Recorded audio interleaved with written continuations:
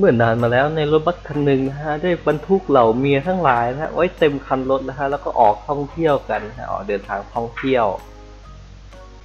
แล้วหลังจากนั้นไม่นานนะรถบัสคันนั้นก็ได้ตกลงไปในเหวนะฮะทำให้เหล่าเมียเนี่ยเสียชีวิตกันทั้งคันรถเลยนะครับ โอ้เมื่อเป็นอย่างนั้นนี่อูเหล่าสามีนี่ก็โศกเศร้าเสียใจกันสิครับโอ้เสียใจมากโอ้ไม่น่าเลยเมียจ๋าโอ้รักกันมาตั้งนาน หลังจากผ่านผ่านวันนั้นไปพานหนึ่งสัปดาห์นะฮะทุกคนก็เริ่มกระดีกระดายิ้มแย้มมีความสุขครับโอ้โห ในที่สุดกูก็รอดแล้ว เป็นอิสระสักที โอ้ จากการกดเกียร์ของมีมาอย่างยาวนานเย้แต่ก็ยังมีชายคนหนึ่งนะที่ยังคงโศกเศร้าฮะกับเรื่องราวที่ผ่านมา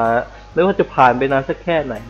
เพื่อนของเขาได้เข้ามาถามว่าเฮ้ยนายเป็นอะไรอะทำไมถึงเสียใจขนาดนั้นนะ แล้วเมื่อได้ยินคำถามนะชายคนนั้นก็หันกลับมามองเพื่อนเขาด้วยสายตาที่หมดเรี่ยวหมดแรงสายตาที่เสียใจโศกเศร้าเสียใจเป็นอย่างมาก แล้วก็ตอบขึ้นมาว่า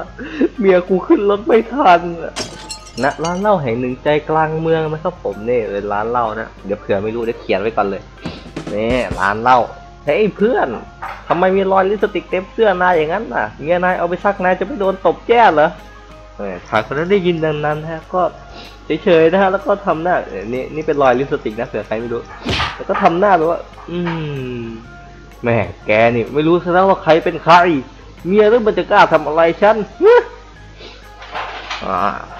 พูดจบประโยคเพื่อนเขาก็ถามกันว่า โอ้โหนี่แกไม่กลัวเมียแกเลยนะโอ้โหช่างเป็นพ่อบ้านใจกล้าซะจริง อืม แล้วชายคนนั้นเขาก็ได้ตอบกลับมาอย่างสั้นๆว่า